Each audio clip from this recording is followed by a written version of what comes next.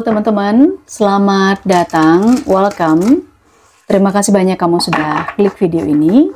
Ini general reading untuk pembacaan energi kartu. General reading ya, untuk pembacaan energi kartu. Ya, energi banyak orang, jadi tidak perlu dipaksa untuk selalu cocok dengan kamu bisa vice versa juga, bisa tertukar juga dengan energi orang yang berdiling sama kamu. Temanya di video ini adalah bersiap terima. Ada sesuatu dari karma baikmu. Bersiap-siap menerima sesuatu dari karma baikmu. Itu ya.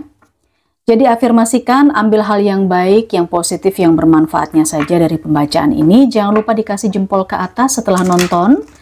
Kasih like, subscribe, dan klik lonceng notifikasinya.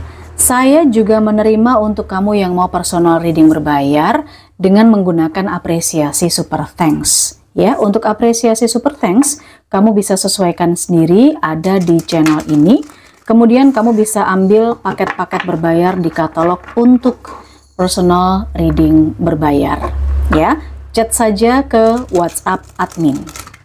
Sambil nonton kamu lagi apa nih teman-teman? Kamu bisa langsung absen absen absen di kolom komentar kayak biasanya. Ada yang sambil rebahan tiduran nonton TV ada yang sembari makan jaga toko jaga anak.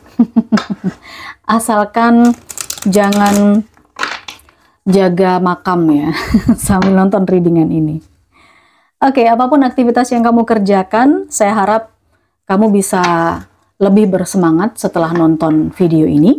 Kemudian kamu juga mendapatkan rezeki yang berlimpah, keberkahan, bertubi-tubi, kabar baik, dan juga dilancarkan, dimudahkan segala urusan-urusannya. Oke, terimalah sesuatu dari karma baikmu. Sebelum kita melihat sesuatu apa yang bakal kamu terima dari karma baikmu, teman-teman, saya akan lihat dulu apa yang sudah kamu lakukan dan apa yang sedang kamu jalankan saat ini. Oke, ada sebuah pembelajaran. Ini kalau terkait dengan profesi, kamu adalah orang yang sangat mencerahkan. Kamu membantu orang lain dalam mempelajari sesuatu. Ya, bisa jadi kamu di sini sebagai uh, seseorang yang memberikan inspirasi kepada orang lain agar orang lain itu mau berkembang, mau belajar. Ini bisa siapa saja ya.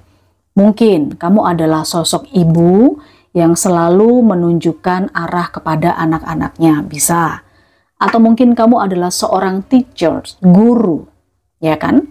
Yang ngajarin siswa-siswinya dengan penuh kesabaran, mungkin kamu juga dosen seperti itu, dan kamu memberikan inspirasi-inspirasi kepada orang lain. Seorang inspirator yang saya lihat. Yang sudah kamu lakukan dan yang sedang kamu lakukan, saya merasakan beberapa di antara kamu di sini juga memberikan komentar-komentar yang positif. Kamu mengafirmasikan hal-hal yang baik terkait dengan setiap pembacaan kartu. Konten-konten pembacaan kartu, baik itu tarot maupun juga oracle gitu ya. Kamu di situ juga membantu memberikan energi yang positif, mengaminkan hal-hal yang baik, memberikan komentar yang positif, memberikan dukungan pada channel saya otomatis. kamu mendapatkan karma baik. Ya, kamu sedang melakukan itu dan sudah melakukan itu. Saya merasakan juga beberapa di antara kamu di sini sedang berusaha untuk membebaskan diri dari sebuah belenggu ikatan. Kamu ingin uh, berproses menjadi seseorang yang lebih baik, yang lebih bebas dalam menentukan pilihan. Kamu tidak ingin ada intervensi yang saya lihat kamu sedang melakukan itu. Kamu tidak ingin dipengaruhi oleh orang lain yang nantinya akan bisa merugikan kamu. Jadi di sini kamu benar-benar memprotek dirimu sendiri agar kamu punya kebebasan dalam berpendapat, dalam memilih. Tidak ada yang memaksa kamu seperti itu. Saya melihat beberapa di antara kamu juga sudah melakukan atau sedang melakukan keterikatan hubungan dengan anak-anak atau energi seseorang yang lebih muda. Misal, kamu sering sekali datang ke panti asuhan, membantu yayasan yatim piatu, atau mungkin kamu membantu uh, ponakan-ponakan kamu, adik-adik kamu dalam faktor pembiayaan mereka, pendidikan mereka, dan lain sebagainya. Ya, kamu membantu anak-anak untuk berkembang, bertumbuh. Kemudian juga kamu memberikan pendidikan kepada mereka. Uh, kalau misalnya kamu berprofesi sebagai seorang perawat atau mungkin bidan lebih spesifik ya, kamu membantu bayi-bayi yang baru lahir. Hal-hal yang seperti itu yang saya lihat di sini. Itu yang sudah dan sedang kamu lakukan. Ini bisa terkait dengan profesi, bisa juga tidak. Oke. Okay? Saya juga melihat di sini kamu sudah melakukan atau sedang melakukan pengembangan diri. Ya, kamu mungkin hobi dalam merawat tanaman-tanaman, uh, mungkin kamu hobi gardening berkebun, seperti itu yang saya lihat. Ya, ada proses pengembangan diri di sini yang saya lihat mungkin kamu juga membantu seseorang untuk pengembangan dirinya. Oke, okay. pengembangan diri orang lain, kamu juga membantu mereka di situ, ya. Kamu punya profesi sebagai seorang uh, mungkin jangan dianggap remeh ya, tukang kebun pun juga saya melihat di sini kamu seorang petani. Nah, menjadi seorang petani, tukang kebun, atau mungkin yang merawat tanaman-tanaman, yang suka uh, dengan tumbuhan-tumbuhan tertentu, di sini terlihat sekali bahwa kamu sedang merajut karma baik. Oke, okay. kamu tidak bisa menahan ilmu kamu hanya untuk dirimu sendiri. Karena setiap yang kamu pelajari di sini, saya melihat dengan tekun, dengan cermat, dengan jeli, kamu menularkan ilmu-ilmu kepada orang lain di sini. Ini yang sudah kamu lakukan, yang sedang kamu lakukan bisa juga research, kemudian juga pendidikan, lalu juga membantu perkembangan karir seseorang, mendukung seseorang sebagai support system seseorang agar mampu belajar dengan baik, ya, agar uh, mampu meningkatkan karirnya, ada biaya pendidikan juga yang kamu berikan kepada seseorang, saya lihat. Ini yang sudah kamu lakukan dan yang sedang kamu lakukan. Mari kita lihat selanjutnya. Bersiap-siap terimalah sesuatu dari karma baikmu. Oke, kita lihat energi kamu secara perlahan-lahan. Kita lihat ya, energi kamu secara perlahan-lahan. Di sini ada energi yang seperti apa? Wow, saya rasakan di sini tentang keberkahan, keberlimpahan. Kamu merasakan keberkahan, merasakan keberlimpahan. Ada sesuatu pemahaman yang kamu mengerti di sini tentang bagaimana rumus atau alam semesta bekerja. Dan saya rasakan di sini ada semacam introspeksi atau refleksi. Kamu yakin dan kamu menyadari bahwa hal yang kalau kamu lakukan baik, maka juga akan mendapatkan balasan yang baik. Ini energimu. Selanjutnya, saya melihat di sini kamu berusaha untuk uh, mendengarkan dulu sebelum sebelum melakukan sesuatu. Jadi seperti mempelajari. Kalau misalnya di sini kamu membantu orang lain, kamu mungkin mendengarkan permasalahan orang lain sebelum kamu memutuskan untuk membantu. Kamu menjadi pendengar yang baik, ya. Sebenarnya ada masalah apa atau mungkin ada hal yang seperti apa? Ini adalah energi kamu. Oke. Okay? Kamu mendengar sesuatu di dalam keheningan, di dalam kesepian. Dan di sini energinya kamu adalah seorang pemberi cahaya kamu adalah seseorang yang sangat mencerahkan dan penuh dengan cinta. Ini energi kamu, teman-teman. Perlahan-lahan kamu menebarkan cinta karena memang kamu adalah orang yang penuh dengan cinta. Terimalah sesuatu dari karma baikmu. Kita lihat selanjutnya ada kartu apa lagi.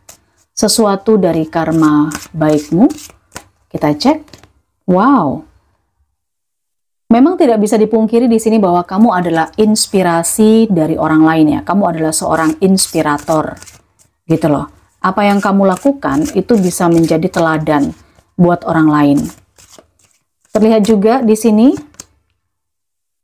kamu adalah orang yang sangat uh, disupport kamu punya kemampuan, inner power, ada sesuatu yang dalam dirimu itu bisa kamu kembangkan, bisa kamu gali. Ini kekuatan kamu memang. Sesuatu dari karma baikmu, ini akan bisa berkolaborasi dengan kemampuan, capability, kapasitas, dan kualitas dirimu. Kerja keras, pekerja keras. Kamu mendapatkan kepercayaan juga yang saya lihat di sini. Ada kepercayaan di bidang bisnis, usaha, orang kalau mau ngajak kerja kamu, mau ngajak uh, bisnis sama kamu, itu mereka percaya. Ini adalah hasil dari karma baikmu.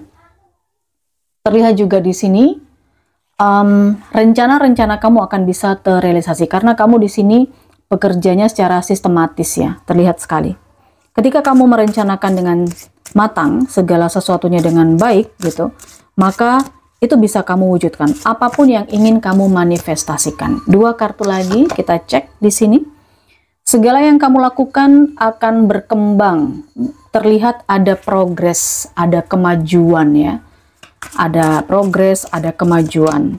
Selanjutnya, ya, segala tantangan yang kamu hadapi akan mampu terselesaikan, akan menemukan jawaban atau solusi.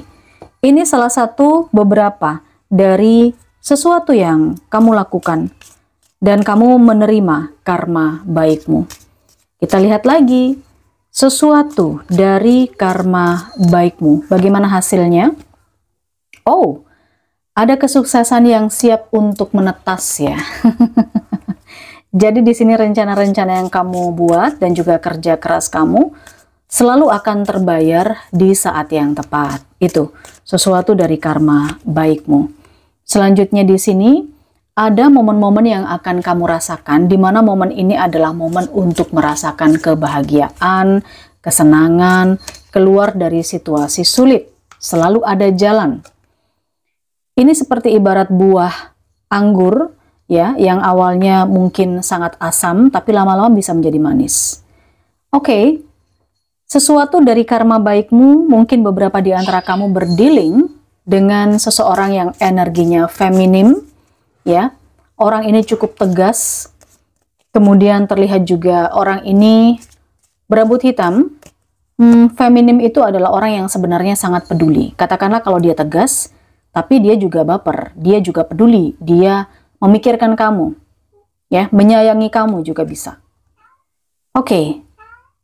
di sini ada like sesuatu dari karma baikmu saya melihat kamu akan selalu mendapatkan kesempatan untuk menentukan langkah, akan mendapatkan petunjuk arahan ke mana kamu harus melangkah. Ini adalah sesuatu yang baik dari karma baikmu. Sesuatu dari karma baikmu terlihat di sini ada perayaan, ya, ada selebrasi, ada pesta. Ya, mungkin ini adalah pesta perayaan tentang keberhasilan kamu.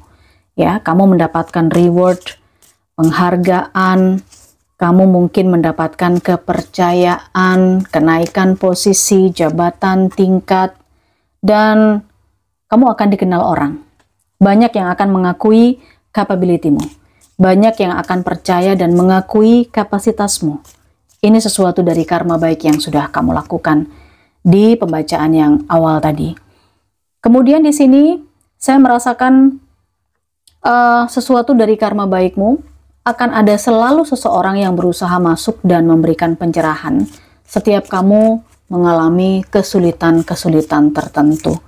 Ya, ibarat ini adalah semacam simbol kue keju gitu ya. Ini akan menjadi sesuatu yang gurih, menyenangkan, Karena apa? Apa yang kamu mau, apa yang kamu inginkan akan bisa didukung oleh orang-orang di sekitar kamu. Terimalah sesuatu dari karma baikmu. Ya, keinginan yang tercapai, keinginan yang terwujud. Di antaranya itu yang saya rasakan. Baik, kalau kita lihat energi zodiaknya kamu teman-teman, di video ini ada sebagian Aries, Leo, Sagittarius. Kemudian ada juga energinya Libra. Selain Aries, Leo, Sagittarius ada Libra, ada juga Taurus, Virgo, Capricorn ya, ada energi zodiak itu yang terkoneksi. Terimalah sesuatu dari karma baikmu. Ada potensi di bulan apa kamu akan menerima sesuatu dari karma baikmu ini. Oke, ada yang akan menerima ini di bulan Maret. Kalau kamu nonton video ini sudah lewat bulan Maret, berarti bulan Maret yang akan datang. Kemudian, ada juga yang merasakan energi ini di bulan Februari. Sesuaikan sendiri ya, kamu menonton ini sudah lewat Februari, berarti kalau kamu nonton sudah lewat Februari, berarti untuk yang akan datang. Karma baikmu, sesuatu yang kamu terima dari karma baikmu, juga kamu rasakan di bulan Desember. Siap-siap, ada yang akan menerima sesuatu di bulan Desember. Lanjut, juga akan ada yang menerima sesuatu di bulan Agustus. Dua kartu lagi, kita lihat ada yang menerima sesuatu terkait karma baik di bulan Oktober dan satu kartu lagi di bulan April. Kamu ada di titik mana teman-teman? Silahkan kamu langsung absen dan tulis di kolom komentar. Kamu bisa langsung memberikan apresiasi super thanks. Kita ketemu di personal reading berbayar. Silahkan chat WhatsApp admin saya. Bye-bye.